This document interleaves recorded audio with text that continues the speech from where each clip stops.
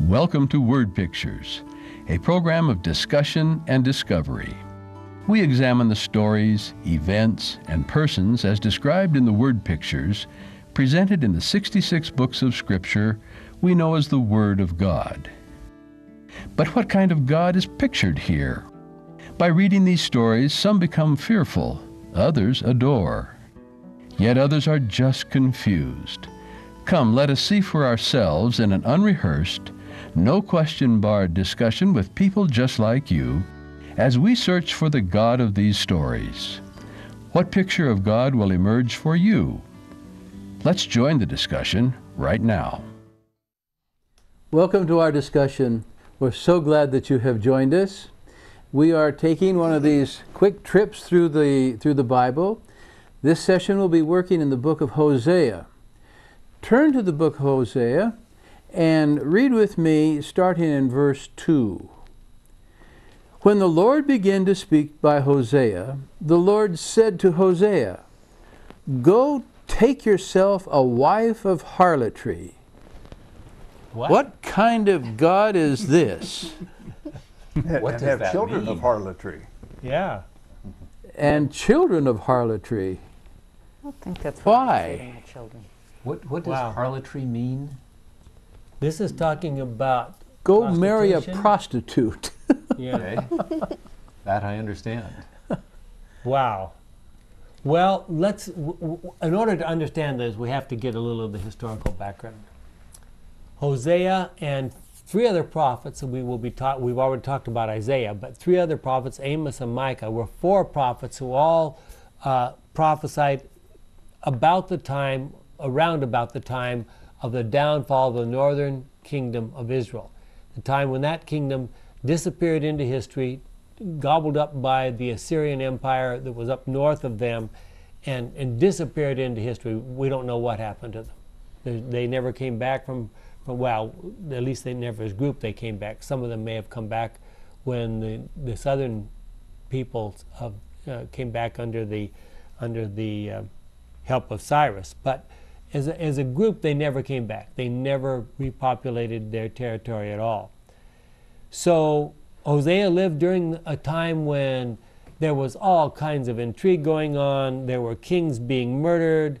There were kings being, you know, and on and on like this. There was actually six more kings that he doesn't even mention there in verse 1 um, Zechariah, Shallum, Menahem, Pekahiah, Pekah, and Hoshea, uh, all of whom ruled during the last few years I have before. a question.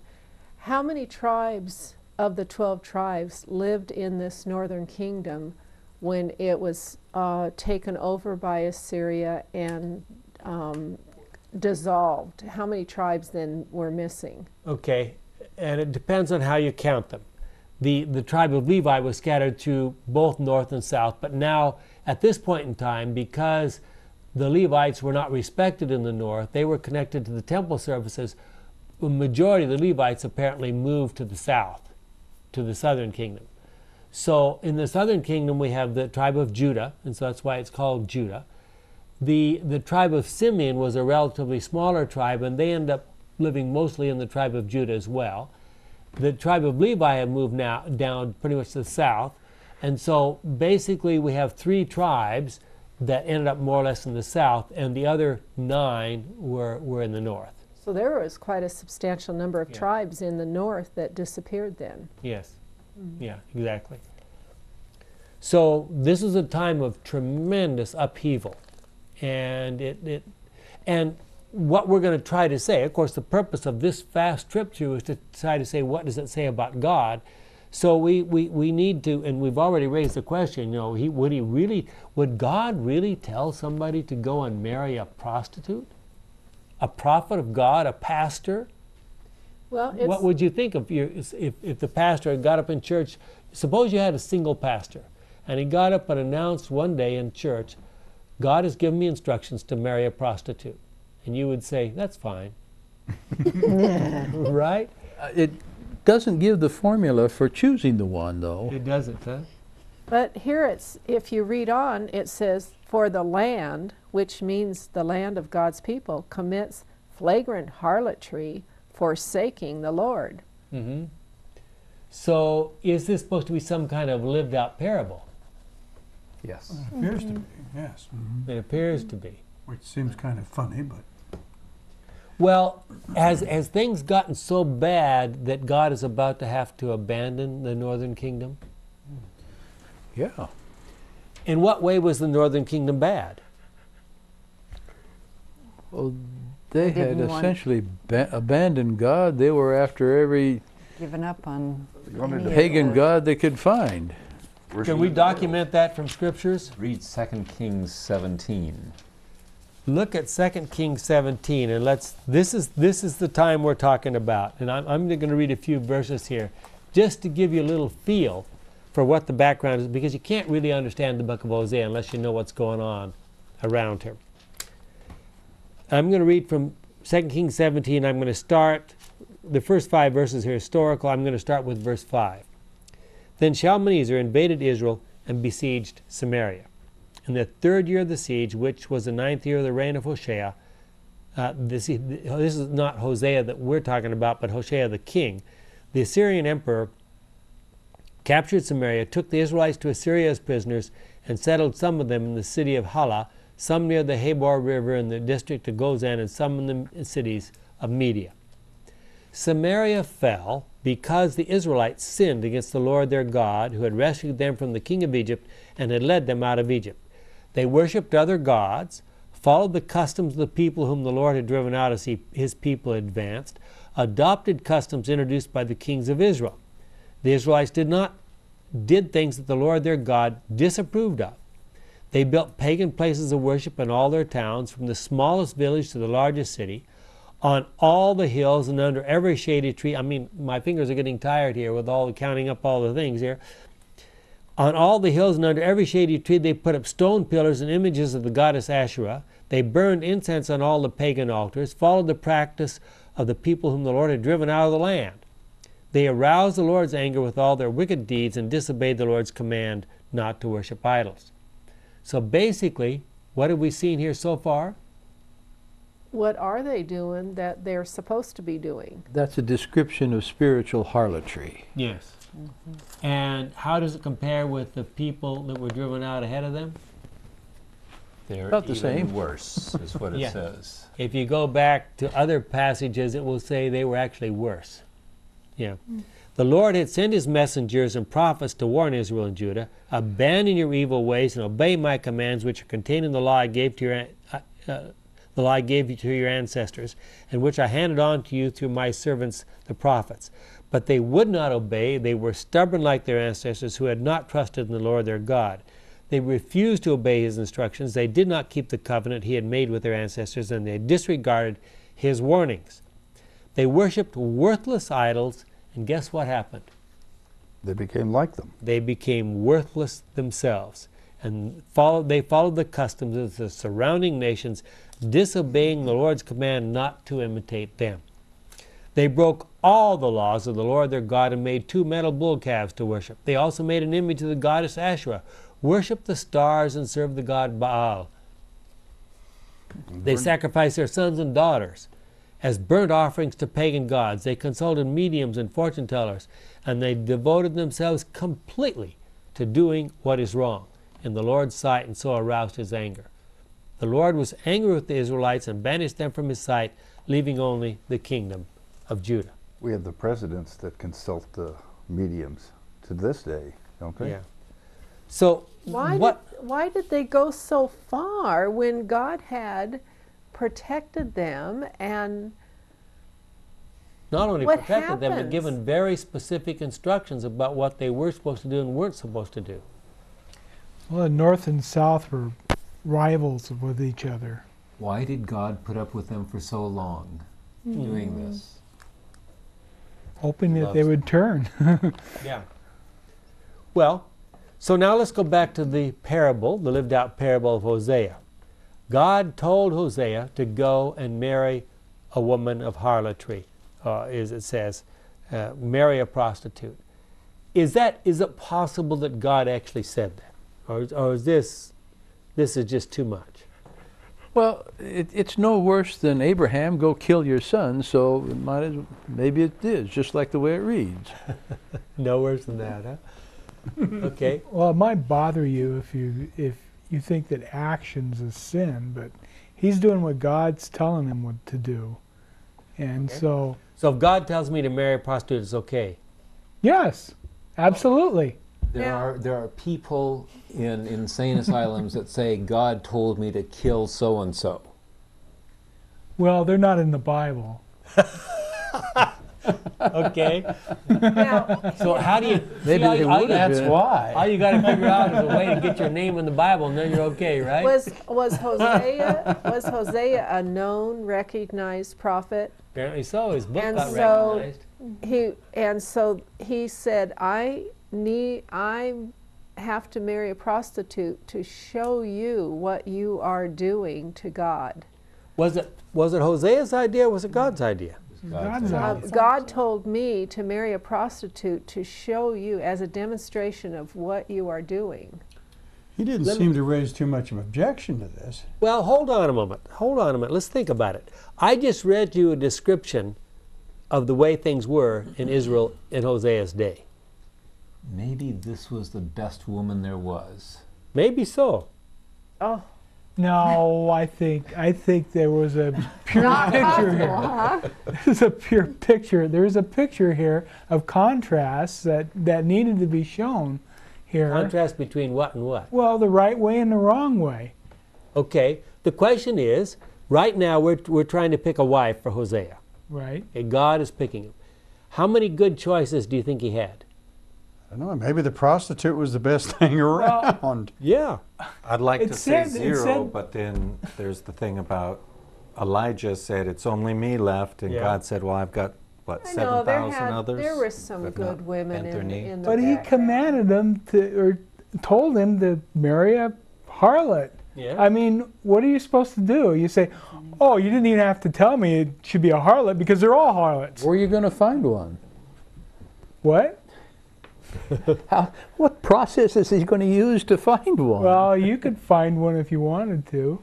I'm pretty sure. Okay. So let's follow the story again carefully. Well, her name was Gomer. Yeah. Real cheery. Gomer Pyle. hold on. okay, we're not going to hold that against her. Must have been a real winner. And so what happened? He married this prostitute, and what happened? and she bore him a son. Okay. And what was the son's name? Jezreel. Jezreel. Do we know anything about Jezreel? There was a massacre at Jezreel from the house of uh, Jehu. Mm-hmm. Okay, the current kings of, of well, some of the current kings of, because there were so many of them, but some of the current kings of, of Israel had massacred the previous uh, dynasty in Jezreel. So we're talking about a place where there's conflict going on, where there's a change in government, where new people are coming in, taking over the place of the old one. So it may not be immediately obvious to us, but to them, they knew immediately what this, this suggested, okay? And it, which was? that we're in a time of tremendous upheaval. Right at least, here. At least that much. The footnotes here says uh, Jezreel meant God will scatter the names given to the child as a prediction of judgment coming. Mm-hmm. Yeah, judgment coming, exactly. Okay, what happened next? Another child. Another child. In this case, this A time, A daughter. Daughter. a daughter. And what kind of wonderful name did she get? Unloved. Unloved. Can you imagine Mary? The story gets better. Can you imagine ma- naming your daughter Unloved? Well, the name was Lo Hama.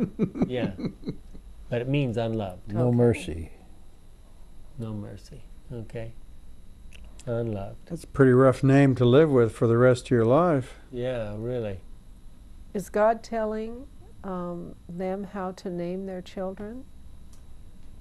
Well, probably. Look, a name is a name. I mean, we had a pastor named Lovelace, Uh huh. and he lived with that okay. Yeah. So, I don't know. It's not much different than unloved, as you're saying. okay. Well, Then she gave birth to another. well, hold on a second. Oh. What does it say about the father of unloved? Nothing.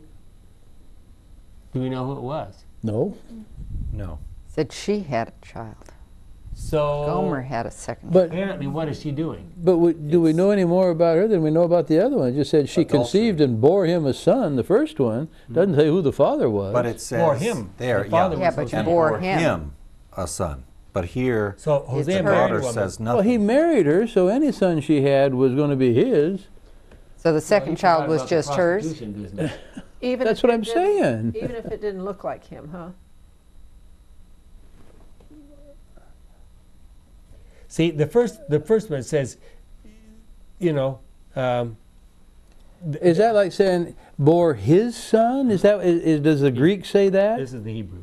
or the Hebrew say Yeah. that bore his son? Yeah, And the other one doesn't say It that. doesn't say. yeah. After the birth of their first son, first child, a son. Yeah. Said. So, so now she has another child which is not his. What would you say at that point in time if you were the pastor? Uh, we need some counseling. You need more than counseling. You'd have some paternity tests. Paternity tests, there weren't any available at that time. Well, back in the day, they would have picked up some stones, and That was what was supposed to happen, right?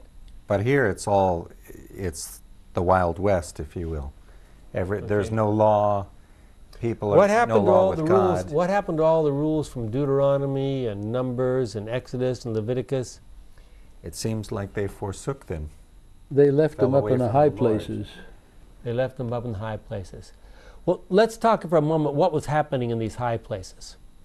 We sort of ran over it real quickly there in 2 Kings 17. What was happening in the high places? Got the spirit out of the bottle, and they would get very near and dear to their Lord with their prostitution. Okay, there was a lot of alcohol, and they believed that these gods controlled the fertility of the land.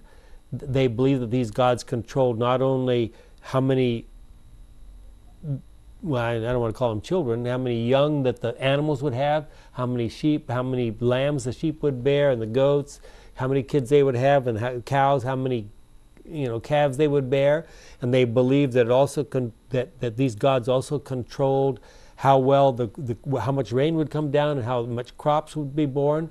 So if you're a subsistence farmer, and your whole life and the lives of your your your whole family depend upon the reproductive capacity of your fields and your animals, what do you do? But who told them these ideas that your fertility of your animals depends on this statue? The fertility cult priests, of course. And so they started listening to the fertility cult mm-hmm. priests. That was because they had no priest really speaking up and to guide them, right? Yeah. So there was a void there of Yes. the truth being spoken. And when they started following this trend, uh, what happened? It developed. Yeah.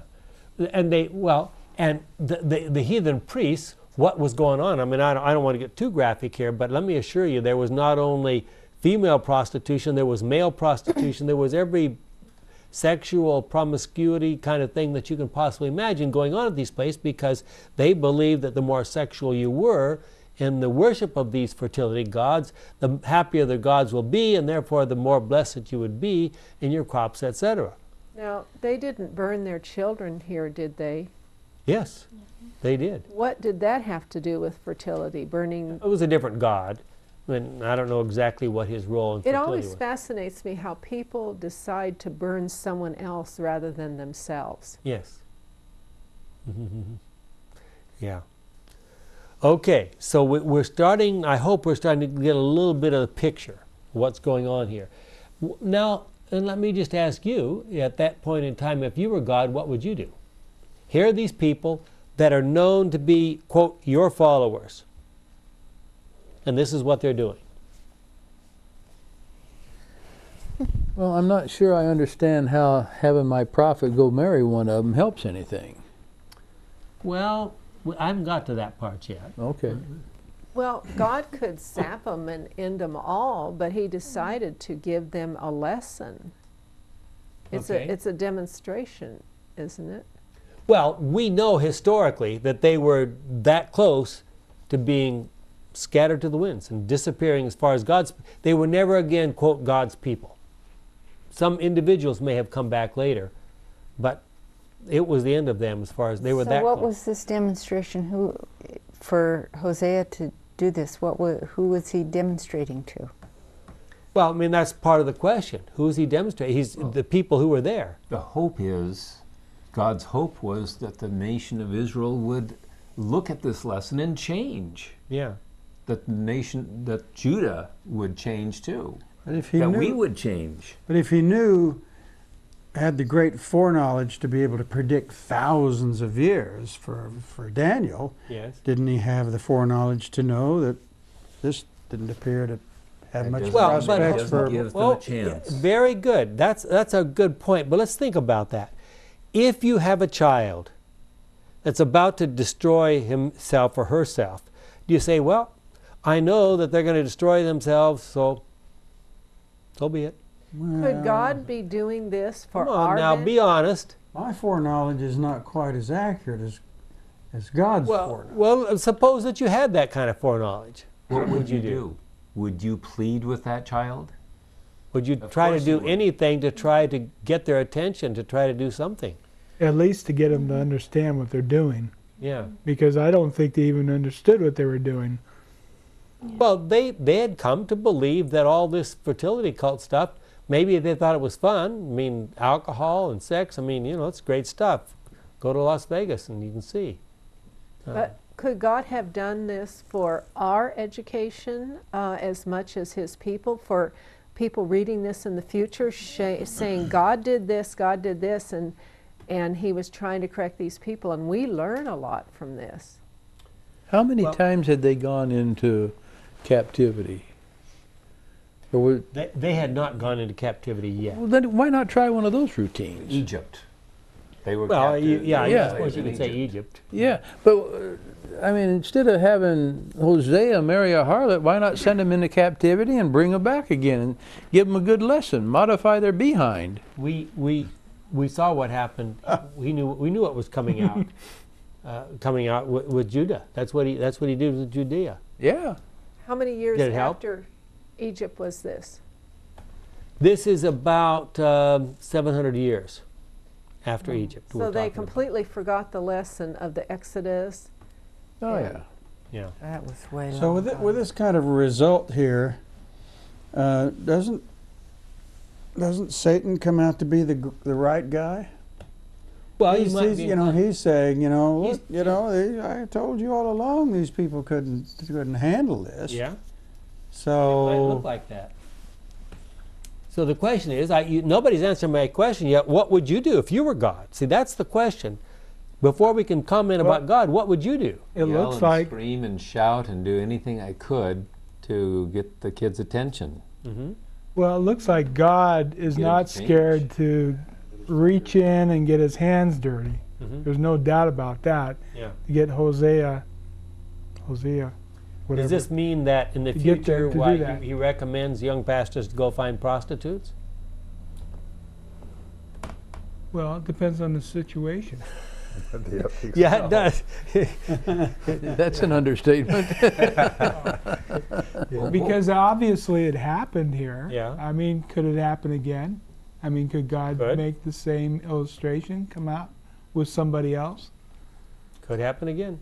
So the question was asked, I think, it's Norm. You know, why didn't God find some nation to take them into captivity? Well, the point is that there was that the Egyptians, um, pardon me, the Assyrians were the only big empire at that time, and they that's not what they did. They destroyed nations. They scattered them Yeah. so that they wouldn't be an uh, uh, an empire anymore. Yeah.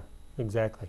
I- i- If they'd been faithful enough to God to wait another 120 years, then the Babylonians would have been been around to take them into captivity, and might happen the same Oh. as what happened to Judah. if God wanted these people to go into captivity and come back, that's it exactly what would have happened.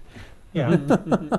well, but the, po- the point is, in long terms, was, was Israel any better off than Judah, or Judah any better off than Israel? Doesn't look like it. Not that much. Jay, what were you going to comment? Or you? I, I Oh, it departed from what you were thinking. doesn't bear repeating. Right here in, in the Bible, it says in the middle of this, but I will have compassion on the house of Judah. Mm -hmm. So God did think differently. Gave him Um, another 130 years. The, the southern tribe, he was looking more favorably on than this northern party hardy crowd. Yeah. Yeah. So is he, is he trying to save the nation here or trying to save what few lives? Is Hosea the only one he's working on here? No, we know that, A- but but he's Hosea is the only prophet from the northern kingdom that we know about that was that was following God at this point in time. Amos prophesied to the north, but he came from the south and went to the north to prophesy, and mm-hmm. they told him get out of here. Yeah. So what does Gomer think when Hosea shows up at the doorstep and said, "Hey, I think we need to get married"? Well, it was security for her, sure, fine. yeah. I, I mean, why wouldn't a young girl want to marry somebody? It didn't get in the way of her business. Yeah. Well, well, what happens that's not the end of the story. and that's not. I mean, obviously, th- this is not the reason the book is. th- This book is in the Bible. There's got to be something more here. So what? What's going on? What? What? What, what are we going to? We haven't finished the story. Let's let's go on. Yeah. I, well, I was just going to say this is a fabulous book. Hosea is one of the great books of the Bible because it shows us really God's love. Mm-hmm. His people are against him, his people abandon him, his people follow other gods, and he yells and screams and tries to cajole them back into the family. And, uh, you know, we can find out God is a very loving God from mm-hmm. the book of Hosea. Okay, we, we're gonna we're gonna go there in a moment. And if we're sinners, you know, that's good news for us that we have a loving God who will forgive us. Well, I don't know. Some might say God just doesn't know when to give up. Is that a good thing or a bad thing? Well, it's taken him a long time to come. Given his foreknowledge, I'd assume that's a good thing. Yes. I see. Okay. And she conceived again, and it doesn't say by whom. mm-hmm. And she named uh, the son Lo-ammi or something. Not my people. For you are not my people, and I am not your God. Mm-hmm. I mean, what what else can you say at that point?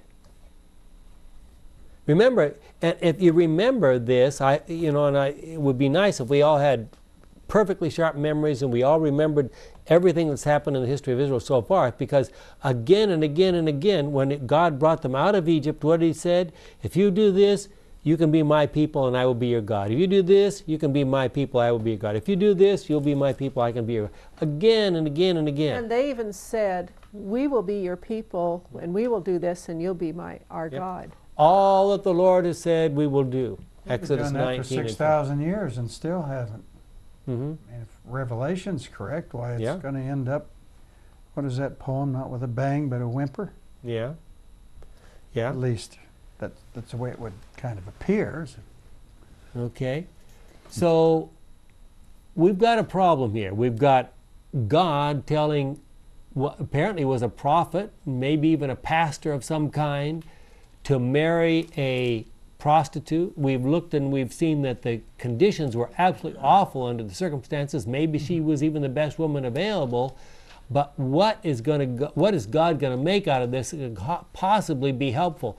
Stick around, we'll find out.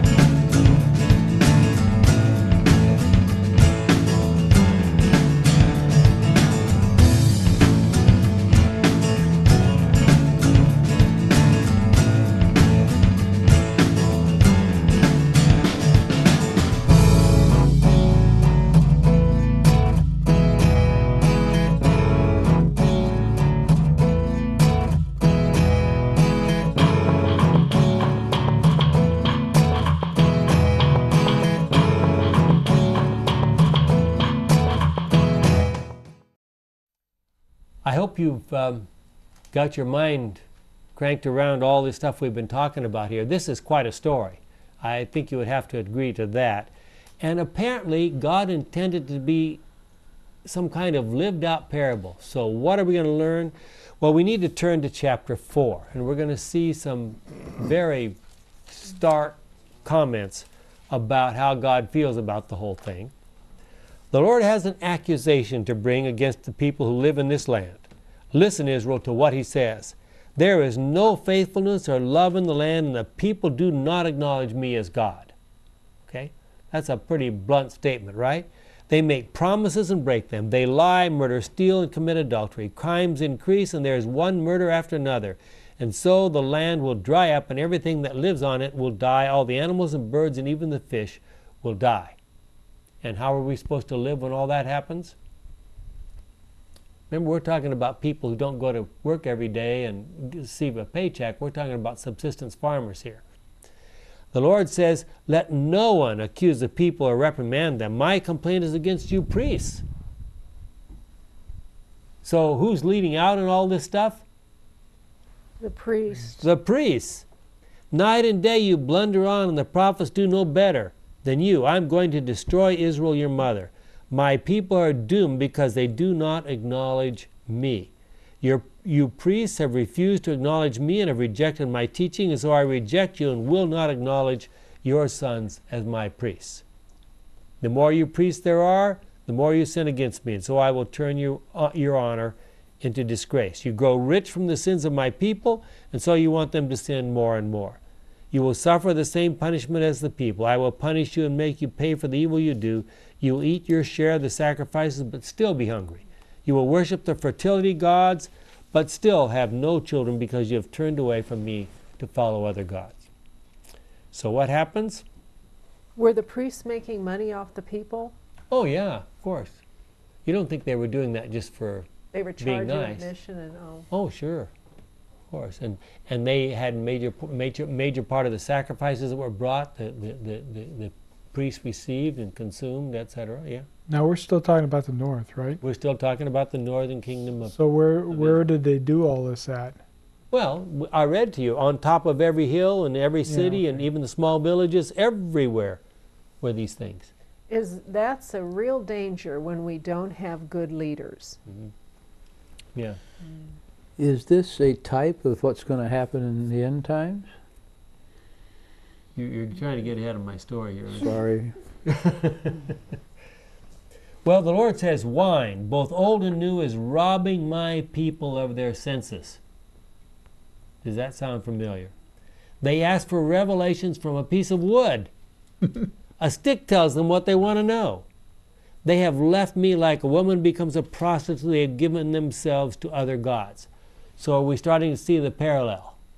I mean, it's spelled out here, isn't it? Were they getting responses from these sticks of wood? Pretended responses, yeah. Maybe it was a Ouija board. Well, it was, Maybe it The was priest. alcohol. yeah. Uh, At sacred places on the mountaintops, they offer sacrifices, and on the hills, they burn incense under a tall, spreading trees because the shade is so pleasant. As a result, your daughters serve as prostitutes. How many of your daughters? Seems like all of them, doesn't it? And your daughters in law commit adultery. Yet I will not punish them for this because you yourselves go off with temple prostitutes. And together with them, you offer pagan sacrifices. The prophet says, A people without sense will be ruined. Even though you people of Israel are unfaithful to me, may Judah not be guilty of the same thing. And of course, what did we find out? We're going to find out that Judah was doing just as bad of things a short time later. Um, don't worship at Gilgal or Bethaven or make promises there in the name of the living Lord. The people of Israel are as stubborn as mules. How can I feed them like lambs in a, in a meadow? The people of Israel are under the spell of idols. Let them go their own way. Now, did Hosea write this and read it to the people Probably. in church and in the public square? Probably. Yeah. The people of Israel are stubborn as mules. Let them go their own way. Do you think he talked about his marriage relationship with Gomer and said, you people are to God like Gomer is to me in his sermons? Is, Yeah. You think that was. I think that's what God intended. Yeah. Well, that's not the end of the story. Uh, we didn't we didn't finish up with the end of of um, at, at chapter three. The Lord said to me, "Go again and show your love for a woman who is committing adultery with a lover." So we come back to the story. What's happening? He's to go. Where where is Gomer at this point in time? She's off with lovers. She's in the red light district. Okay, The same woman? the same his wife. Okay. Okay, and so what is he instructed to do? Go and get her? Go and get her. And how does he do that?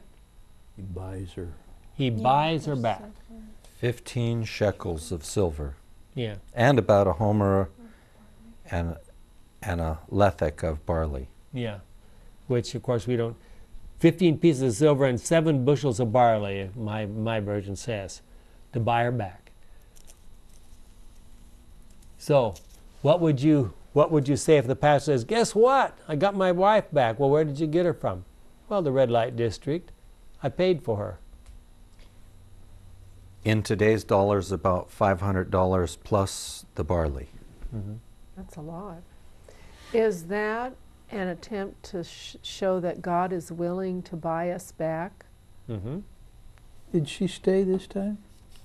Well, we don't know. The story doesn't have an ending. That story doesn't. We don't have the ending of that story. Put it that way. We don't have the, the ending.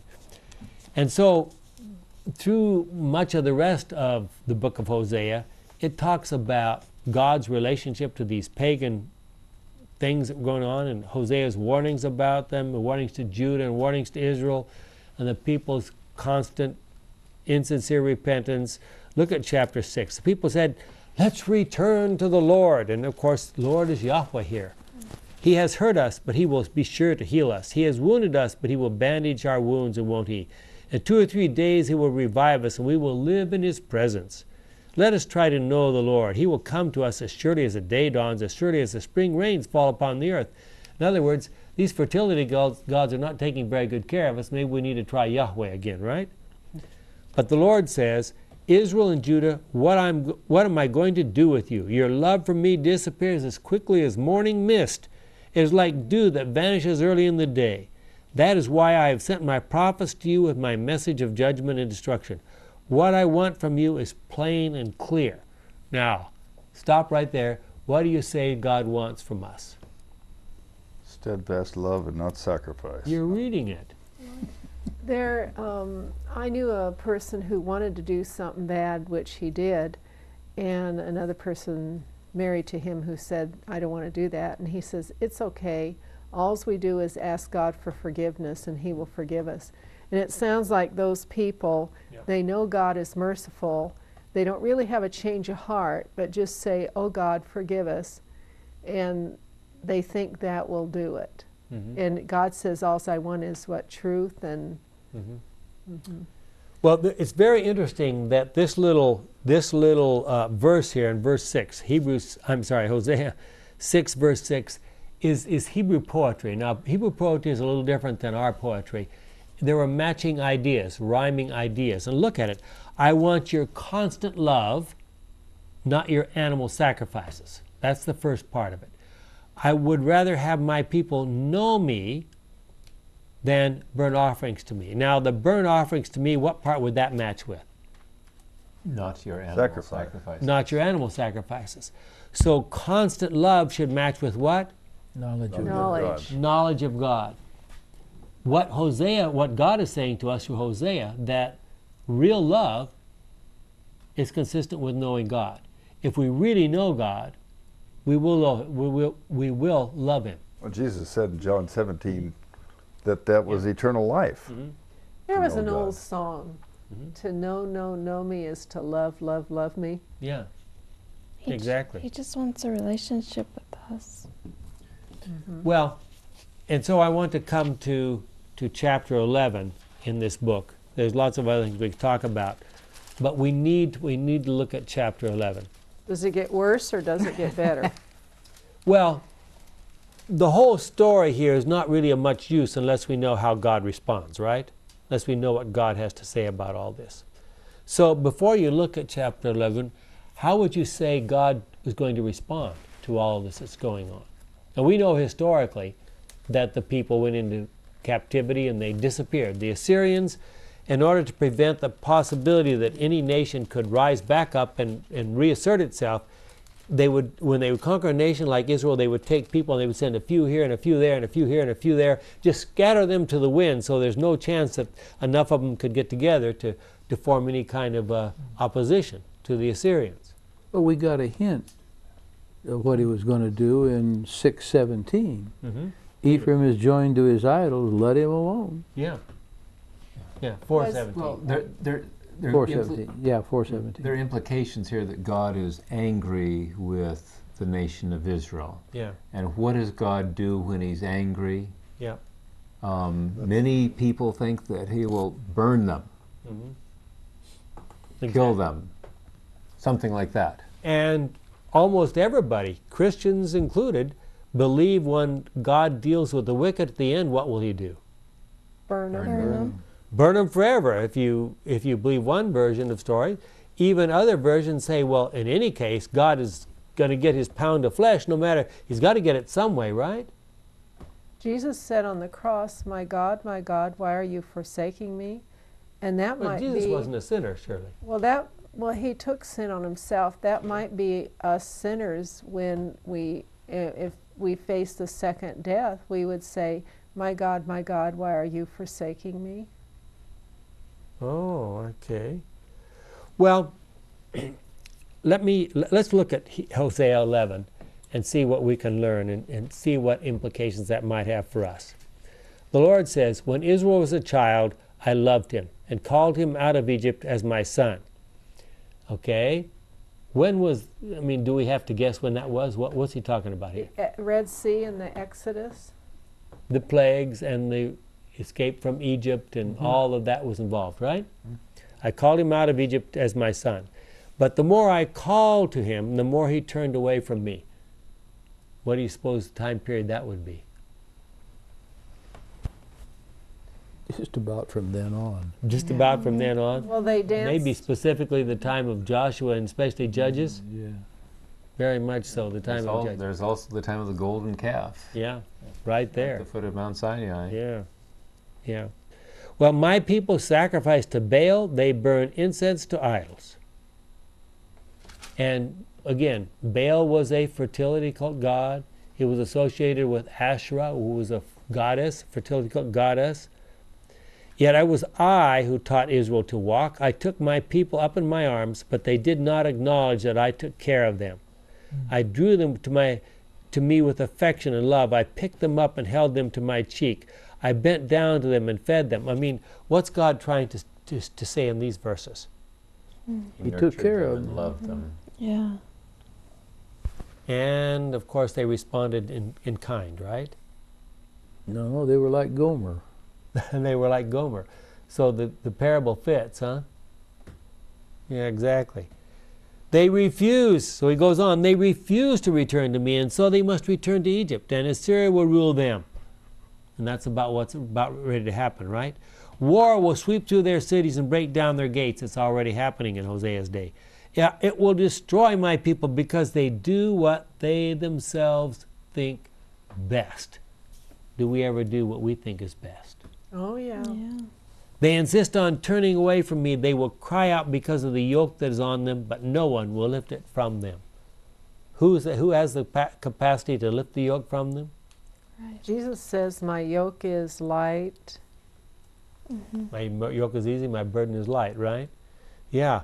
So who's not going to be there to lift the yoke off of them? Jesus. Yeah.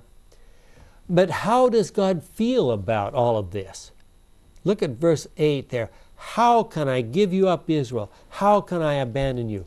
Could I ever destroy you as I did Admah, or treat you as I did Zeboim? What's Admah and Zeboim? Cities around the Dead Sea. And what do we know the time about? Sodom and Gomorrah. Yeah. If you go back to Genesis 10, verse 19, These cities were destroyed with Sodom and Gomorrah. Mm-hmm. So God is saying what? That He wants to treat people like that? This is my heart recoils within me. My mm-hmm. compassion grows warm and tender. I will not execute my fierce anger. I will not again destroy Ephraim. Mm-hmm. For I'm God and not man, the Holy One in your midst, mm-hmm. and I will not come to destroy. Yeah, so what does this tell us about God? Is he happy about the time when the when the wicked come to an end? No, Not at all. he feels. Is it possible? And here's what I would like us to think about in, is our conclusion for the book of Hosea. Is it possible that as the wicked perish in the end, as what was happening right here, that God is weeping? Yes. It is. He loves That them. well, he loves them.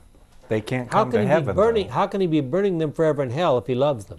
He's respecting their choice. He's not burning He's them in not hell burning forever. them forever in hell. Okay. He's not burning them at all. Not burning them at all. How do you know that? They've already died the second death. Okay, we, we need some evidence. Can we find any evidence?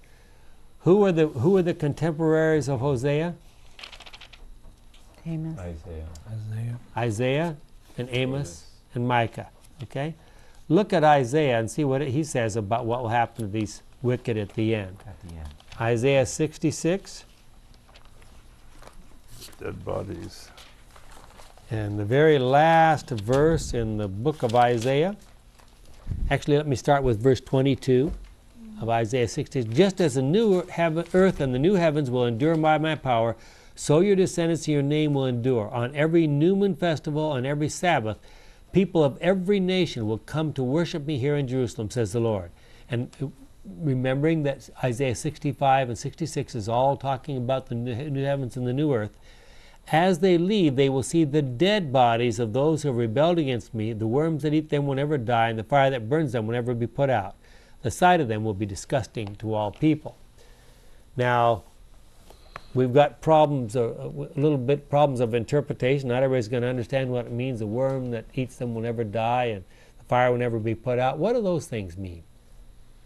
Well, you know, this book says that the everlasting torment visible to us in heaven will always serve as a reminder of the terrible consequences of rebellion against God. So when we're in heaven, according to this um, commentary, the person who wrote this, we're supposed to see the burning fire of maybe our friends and, and be reminded that sin is horrible. And Those people. that would not be heaven. May I remind you, there are many, and I, don't, I didn't bring them, maybe I should have brought some of them here to conclude with. There are many, many statements by main, mainline famous theologians that said the happiness of the saved will be increased by the fact that they will be able to look out from heaven and seeing the wicked burn, and they'll say, You know, I'm so thankful I'm in here and I'm not out there burning. Does that sound like a God of love? Well, there's a lot of people that write commentaries that, that of, of that way that Joanne read there, and they can't imagine that God would ever have creatures that would do what's right because it's right. Uh-huh. They need a threat of punishment or torture to keep them in line. They need, they need a, a, a promise of reward for good behavior and a threat of punishment for bad behavior. Otherwise, Yeah, but that, did that- that's that's really where, where I've heard that expressed by many people because they just can't imagine that a time would ever come in dealing with finite beings that they will do what's right just because it's right. What does it mean by can't put the fire out? Well, and again, we could, if, if we had time, we would go and we would show from, because the, the, the, the, those verses need to be compared with Revelation 14, 9 to 11, where it talks about the third angel's message.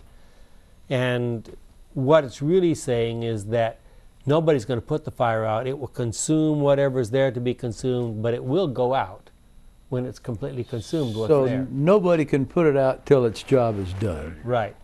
Furthermore, remember that it says what's being consumed is dead bodies. So there's no torture going on here. These people are dead. Okay. And if we go to 2 Peter chapter 3, it says that the fire that comes from God is so hot it melts the elements. What does that tell us? How long would it take for a body to be consumed if the fire is hot so hot it would melt elements? It'd take a miracle. God would have to perform some kind of miracle to keep them there burning. Yeah. Yeah, he would. Very clearly. Malachi 4:1 Mm-hmm. says that they will, on that day, they will burn up, and there will be nothing left of them. Yeah. It'll burn like straw. and it goes God- on down and says it'll be like ashes. But the effects are eternal. The effects are eternal. But, yes, Joanne? Does it say that God will cleanse the earth with uh, fire in the end? Yes. Well, everybody who doesn't want to be around, he has to uh, cleanse and completely um, just get rid of so that the new heaven and the new earth will be um, completely new. But the question here is what have we learned from the book of Hosea that adds to that story? God is love, God is forgiving, God continually wants to save. And, And- But you can run away. Yes. He's wishing Yeah, that none should is- perish. say that again? He's Freedom of wishing choice. that none should perish, but Yeah. all should. God doesn't want anyone to perish. And what?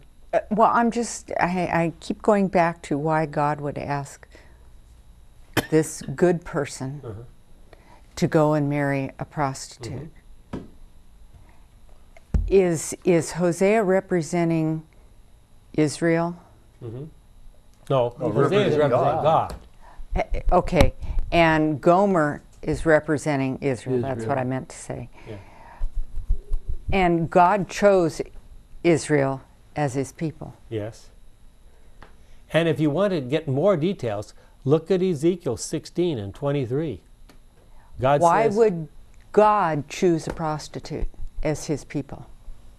well, Because that's what they were. yes, exactly. I think that's because But that was why- the best thing that was available. That's exactly what I said about Hosea. Maybe that wife he got was the best one available. You know, in, in actual fact, Hosea probably went and chose a wife, the best he could find, and God says, go ahead and marry her, even though she's a prostitute, was probably what actually happened. It doesn't say that he loved her. No. He did what God said to do. Well, there was some passage in there where I think God was, in earlier, Eh, God told him to love To this- love her. To love her. Yes, as he loved. If you look at the bigger picture of Hosea, you see that there's a lot of love Mhm. for Hosea or, or for God for his people. So here's the ultimate question that we need to come to. When God finally deals with the wicked, what is his attitude? How does he feel when he sees the wicked perish or when he has to destroy? I mean, how did he feel when he, at the time of the flood? How did he feel when the firstborn were being destroyed in Egypt?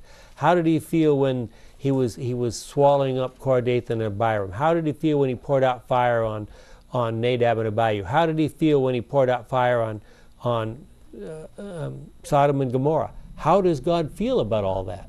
How can I give you up, Ephraim? How can I hand you over? My heart God's weeping. As the tears come down his cheeks. That's what Hosea 11:8 says that you were just quoting. Yeah. So, is it fair for us to say that this represents God's attitude toward wicked at all times? Because you know what I'm going to come to next.